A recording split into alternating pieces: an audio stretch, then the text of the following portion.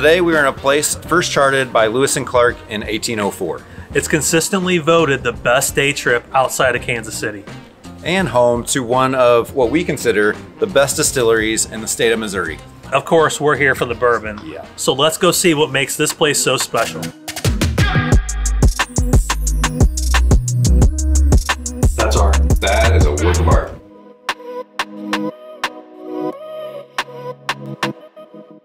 Ladies and gentlemen, welcome to Weston, Missouri. I'm Arthur. And I'm Scott, and this is Artfully Bourbon. Let's go.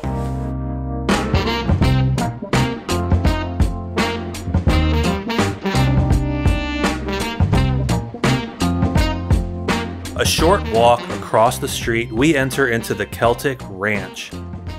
The Whiskey Snug is through this little door in the back of the store, a speakeasy of sorts.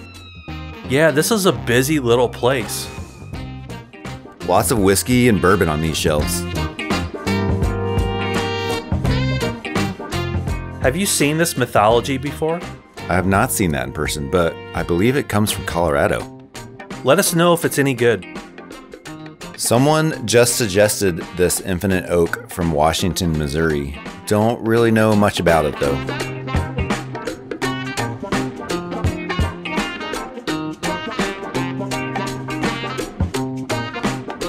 More mythology. The bottles have an old elk shape to them. There's a Jeptha Creed. Yeah, that's a Kentucky bourbon. We have not tried this, but the bottle looks amazing. $75 for an Old Forester 1910? Not today. Have you tried any of these? Same Old Moses is from Oklahoma. The local shelf. We got Riegers, Ben Holladay, West Bottoms. Lots of Union Horse. It's been a while since I've had their standard bourbon whiskey. Any recommendations here? Don't forget about Tom's Town. What do you think is up here? A tasting room and lounge. This is awesome. The Whiskey Snug has over 1,100 whiskeys, and many of them are available to try neat or in a cocktail. A really cool place and a must go if you are in Weston. Unfortunately, the bourbon prices were a little high for us. We didn't end up getting any bottles at this location.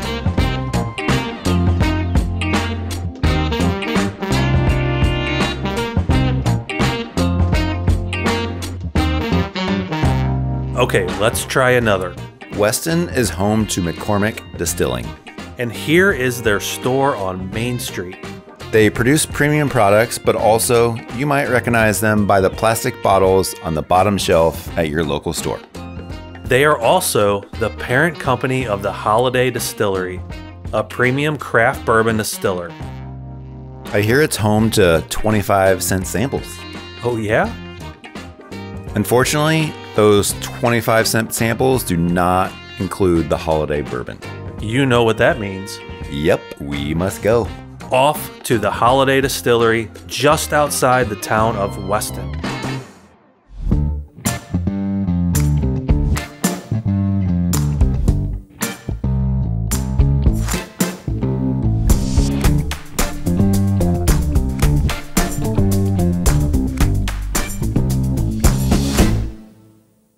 But before we taste, let's take a tour of this historic place.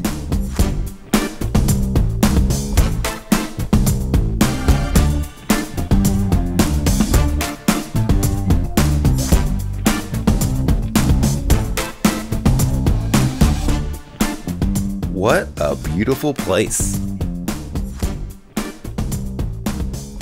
This is our tour guide, Heather. She is Holladay's guest relations manager, and she went out of her way to give us a private tour. All right, this is our first stop. This building was the original pavilion with an outdoor bar. An addition was recently added for larger events and now has garage doors to maintain the open air feel. And one of the original stills is being repurposed as the new bar in this building. Just off the side of this building is a bottling line for their premium bottles and private barrel selections. This is where we are going to bottle like our ancient cave collection, our rickhouse proof, our single barrel picks. Um, the copper pipe that you see on the ceiling here, that actually will transport the bourbon from the still house. There's a dump trough there where they will dump the barrel and then siphon it into these production tanks here. It's the bonded ancient cave.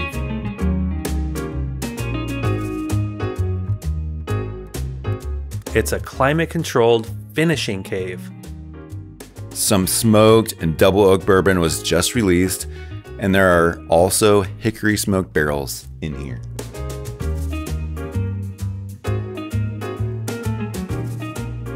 The land was originally charted by Lewis and Clark for its natural limestone springs.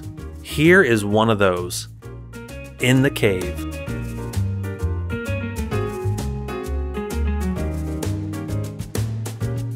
And this cistern was hand dug in the mid 1800s.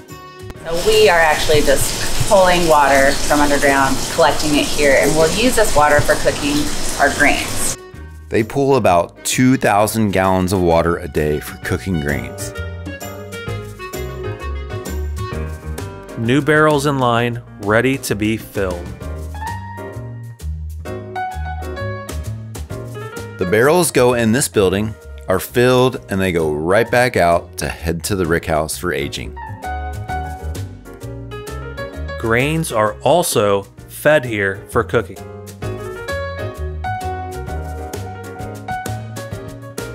This soft red wheat is ready for aging.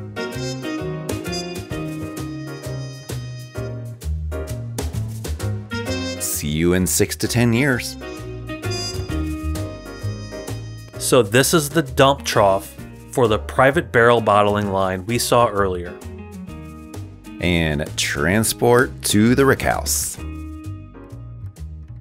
We took a little bonus tour through the basement of the still house to see the bottom of the distillation column. And now up to the top floor. So, Holladay currently has three mash bills. The corn is an older recipe. The rye mash bill is 73% corn, 15% rye, and 12% malted barley. And the wheat is a similar mash bill at 73% corn, 15% soft red wheat, and 12% malted barley. Okay, on to cooking and fermentation. No peeking inside today. They were just filled, so they must do their thing.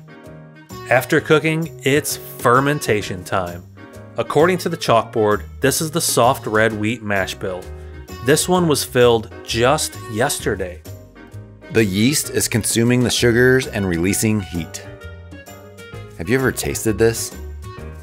It's not really hot though.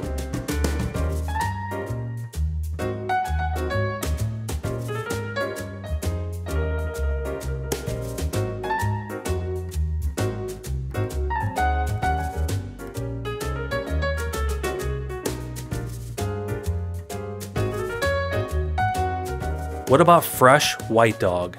130 proof. Surprisingly flavorful. Yeah, this is actually what goes into the barrel. This is supposedly what Mountain Dew was created for. We gotta try that sometime. Have you tried Mountain Dew and White Dog? Let us know in the comments.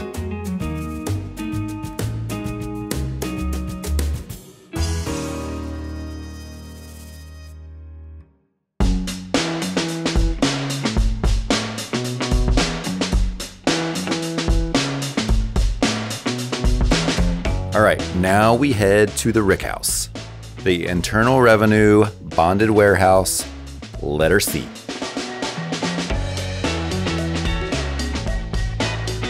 Man, seven floors of barrels.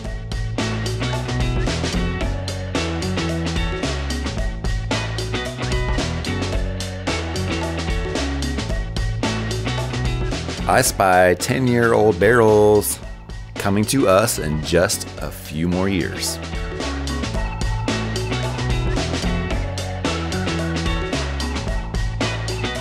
This is an example of a stave. So this is at char level three. This is an example of that devil's cut. That is that line where the distillate has mm-hmm. swelled into the stave.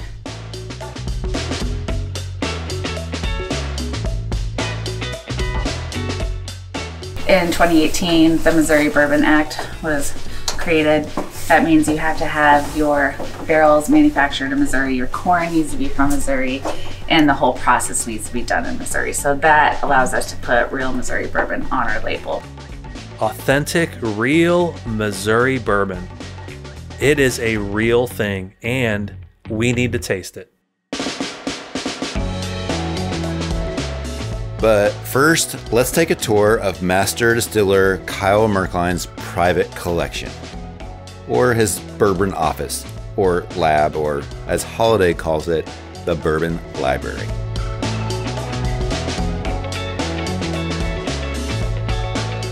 Home to all the barrel picks they have done. We need to do this. One day, and we will share it with all of you.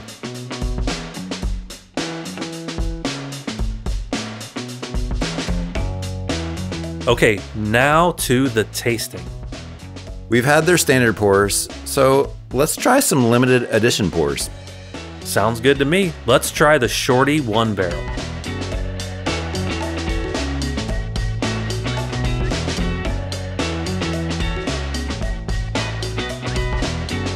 Mmm, Missouri Hug. I love the rye mash bill. Next, we tried the William Clark One Barrel. We also had to try the distillery only Ancient Cave Collection. Both the smoke and double oaked were amazing. Surprised, but we actually liked the smoked better than the double oaked. These were both amazing, and Heather hooked us up with a couple of bottles for our collection. We also took home the William Clark One Barrel that we tried at the distillery.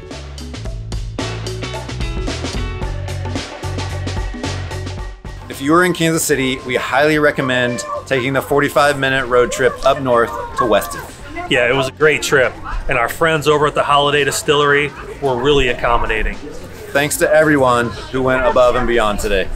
If you like this episode, hit that like button below. And thanks for watching. Until next time.